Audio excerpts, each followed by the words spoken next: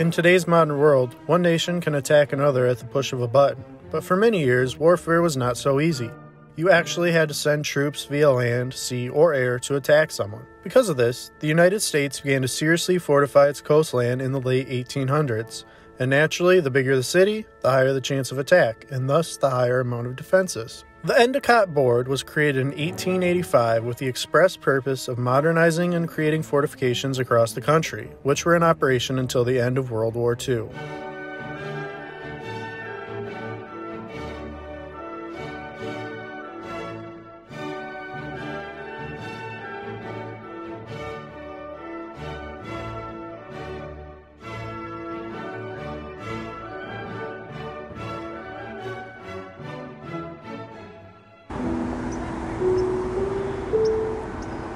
San Francisco was deemed as the most important Pacific port and second most strategic in all of America, just behind New York. Work began in 1891, and less than a decade later, the Spanish American and Philippine American Wars broke, prompting an increased military spending on the West Coast. Dozens of batteries and forts sprung up across San Francisco's coast during this time. These posts began to be abandoned in the 1940s and were completely empty by the 1970s. Today, most of these have been preserved by the National Park Service, and you can take a hike along the coast through these batteries, which is exactly what we'll be doing in this week's video as we check out the San Francisco batteries of Fort Winfield Scott.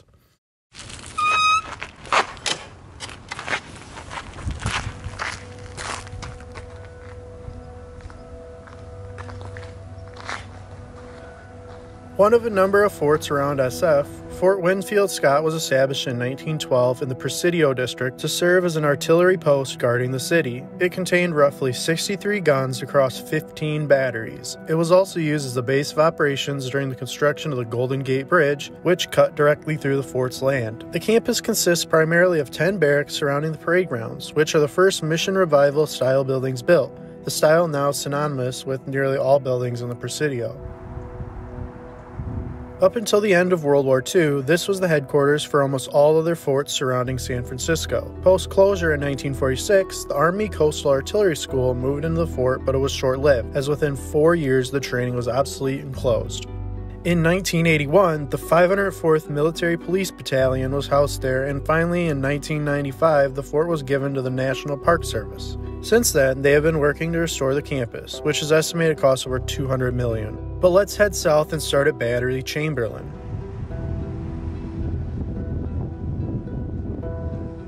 Beginning construction in 1903, Battery Chamberlain featured four 6 inch M1903 guns behind a reinforced concrete bunker.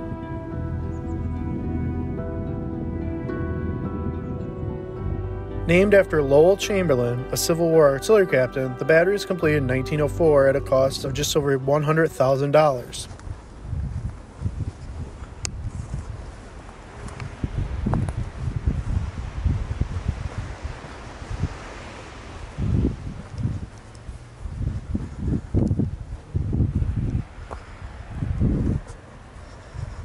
It operated until 1917, but was then reactivated three years later and operated until closing in 1948.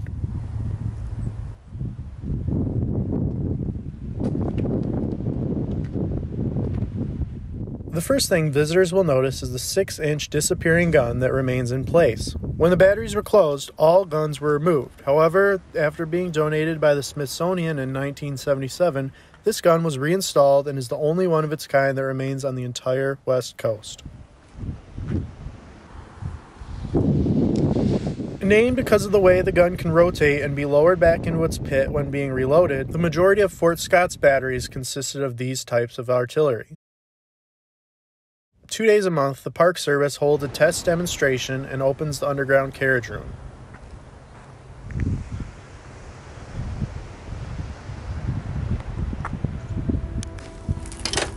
Let's head north up to Battery Crosby. The most isolated of all batteries we will be visiting today, you must take a trail down the bluffs to access the fortification. Beginning construction in 1899, this two gun battery remained active all the way up until 1943. The lower level held the magazines for the guns, which were brought up to the upper level by a hand cranked hoist.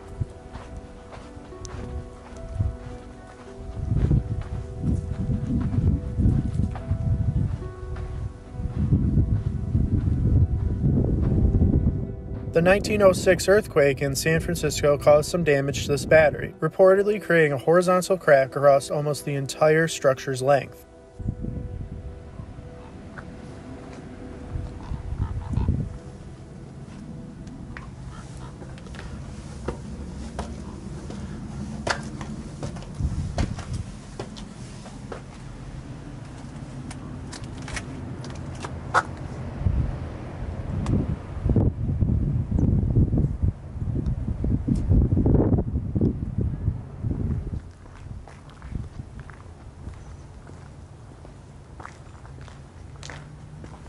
The guns in this battery were from the Endicott era and were never updated like most others during World War I, and just two years into World War II, the battery was declared obsolete. Sitting above the bluff, almost behind Crosby, is Battery Saffold. Named after War Department General Marion M. Saffold, the first gun was installed in 1896, and the final gun arrived two years later. A unique feature of this battery was that it was able to fire both into the ocean and into the bay, until eventually the growing trees and new buildings at the Presidio blocked the bay from them.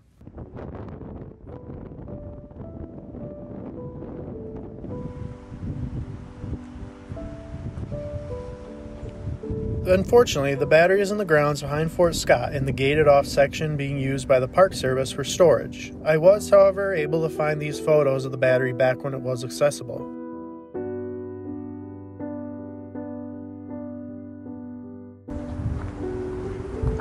Next up is another wooded battery, where the former Presidio Battery West was located.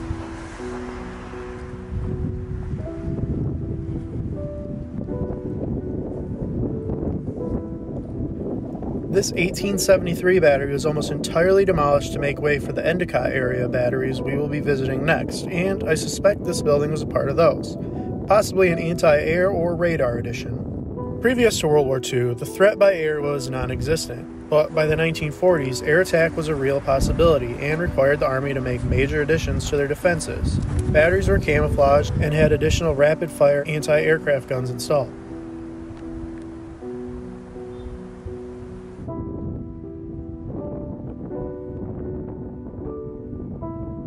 Before we go any closer to the bridge, let's take a quick jaunt further inland to Battery Howe Wagner. Unlike the other batteries, Howe Wagner is hidden underneath a massive undergrowth, and most passersby assume it's just a hill.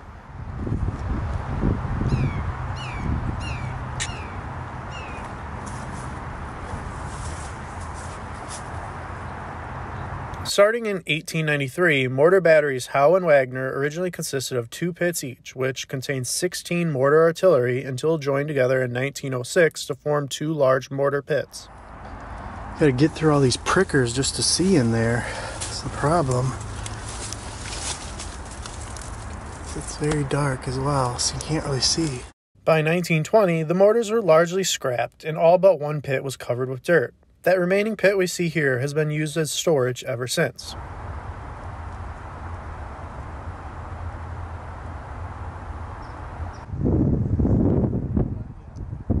Returning the coast, we come upon Battery Godfrey, the first of the remaining four batteries bunched together near the entrance to the bay. This was the first 12 inch gun battery in the entire United States, beginning construction in 1892 and completed in 1896.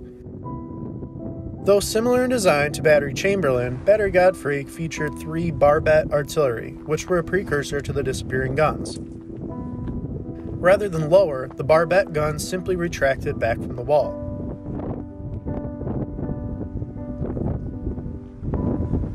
A wine bottle right there. Somebody was having a party vodka. Wine.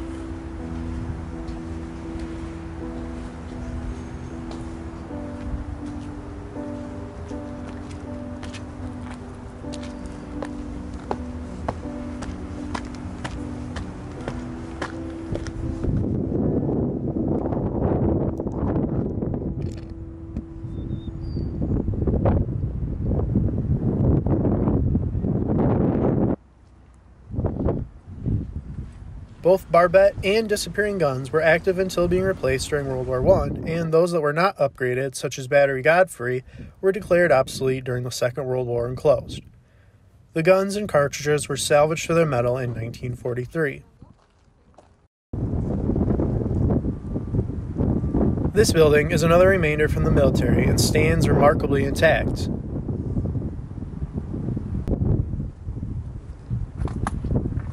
These coastal batteries across San Francisco are regarded as some of the best preserved World War II era fortifications in the United States. Side note if you've never been to San Francisco, it has one of the highest property crimes in the country. Something I witnessed here where some people left their car for just a short time and had a backpack stolen from it. The Battery Boutelle featured three balanced pillar guns installed in 1901. Similar to the disappearing gun mounts, a balanced pillar mount could remain invisible until ready to fire. All three guns were declared necessary for use in Europe and sent over in 1918. Boutelle was never rearmed.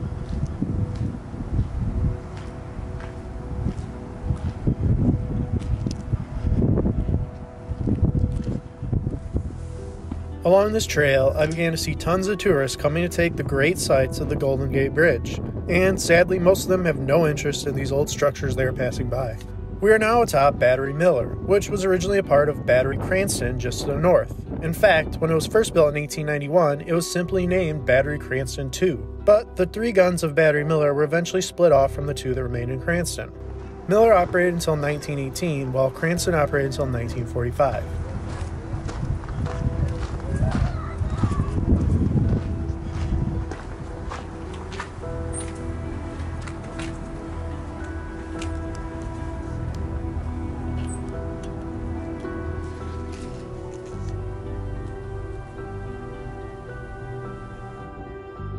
Today, Battery Cranston has been converted into maintenance offices and workshops by the Golden Gate Bridge and Transportation District and is strictly off limits.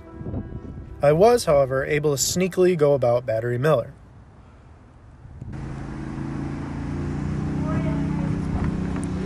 Interestingly, while most of these have their lower levels closed to keep out vandals and the homeless, this one was open. So there's definitely a fresh smell of manure down in here, so somebody must have been staying here recently.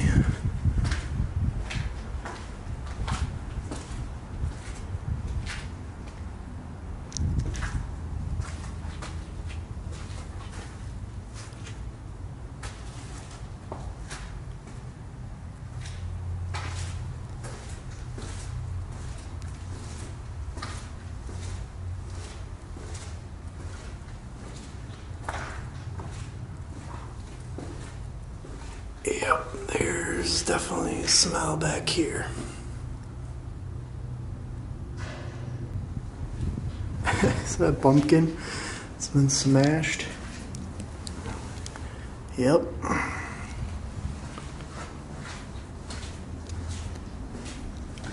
Tons of graffiti, spray paint.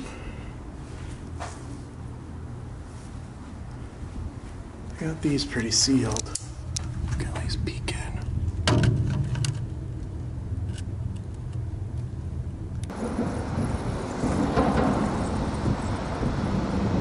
The last stop on our tour is the iconic Fort Point.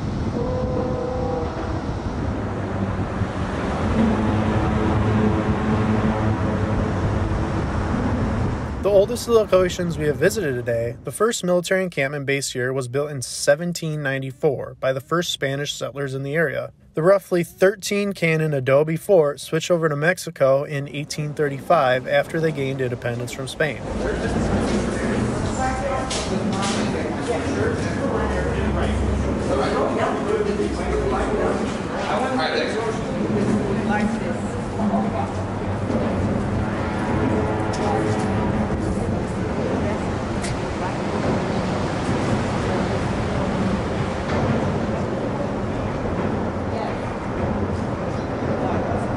It was next captured by America when an amphibious assault was launched during the Mexican American War in 1846. It was during this war when the Punta del Cantillo Blanco began to refer it as the Punta del Castillo, which, roughly translated from English, is Fort Point.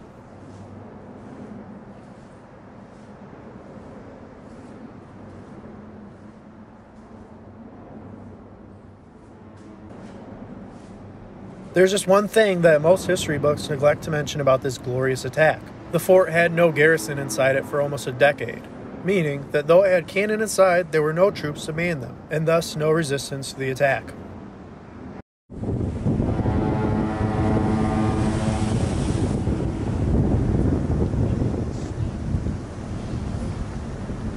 With the advent of the gold rush, it was decided that real protection was needed, and Army engineers began construction of Fort Point, Fort Alcatraz, and Fort Mason in 1853. The original name for the Spanish fort includes Cantillo Blanco, referring to the white cliff it was situated on. This cliff, however, was the first thing to go when Fort Point began construction, as the cannon would be too high to fire onto the approaching ships. 90 of the 100 foot cliff was removed.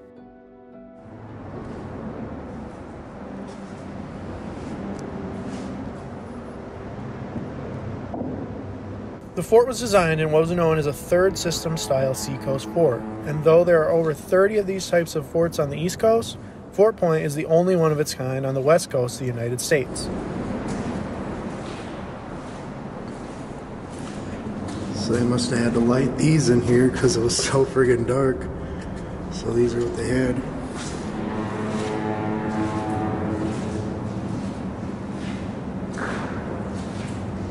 Sure better be paying attention when you're walking down these stairs, because if you went on this end, check that out. You can't even walk. Some old grandma's probably gonna tumble right down there one day.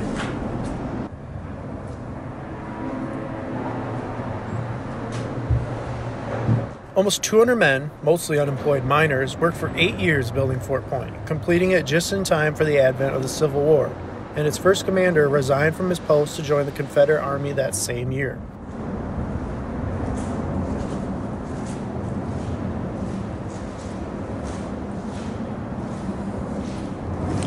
You actually can see out this one.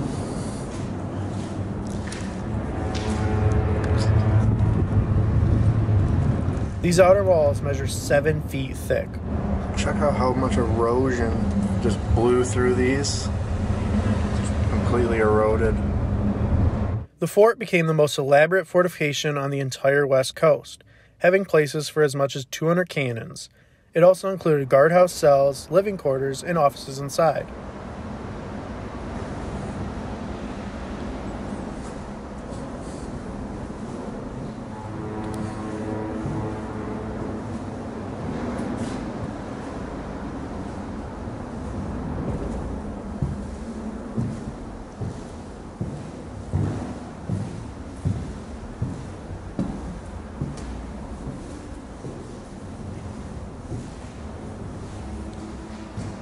It was on high alert throughout the Civil War, and though it never saw any action, a Confederate ship was actually on its way to attack when the war ended.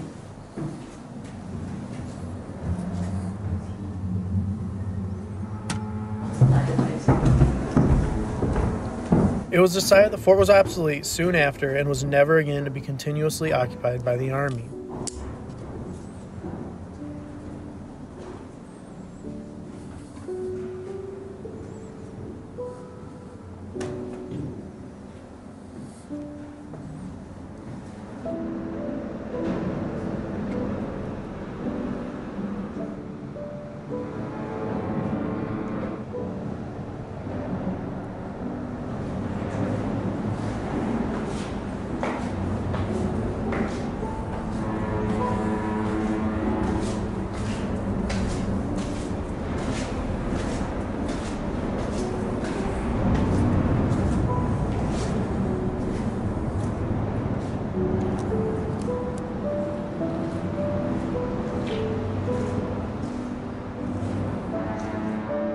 With upgrades to the Endicott system along the coast, Fort Point's guns were all removed for scrap and the fort began use as a barracks. In 1913, the fort was preparing to become an Army detention center before Alcatraz was ultimately selected for that purpose. When the Golden Gate Bridge was designed in the 1930s, it was planned to demolish the old fort, but the bridge was redesigned so that the fort may be saved, as Chief Engineer Joseph Strauss stated that it should be preserved and restored as a national monument.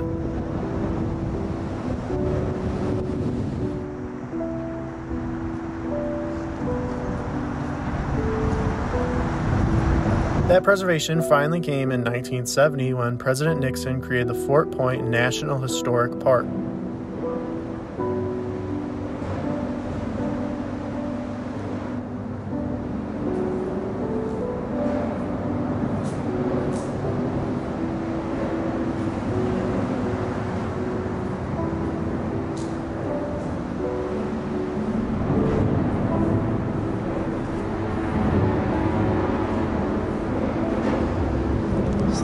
Section sealed off. More officer quarters.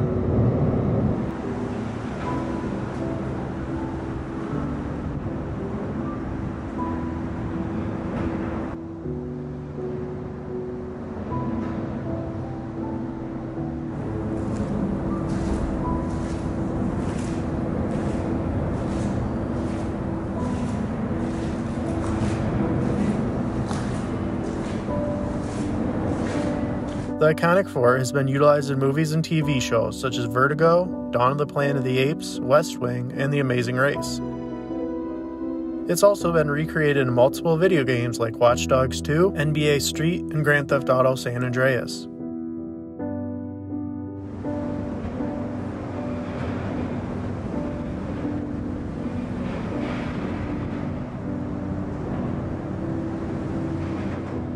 After the attack on Pearl Harbor, defenses along the western coast were on high alert. Throughout the war, there were only three attacks to the coastline two in Oregon and one in Southern California. As warfare entered the modern age, coastal defenses became obsolete. Thankfully, these relics of the past are being preserved for future generations.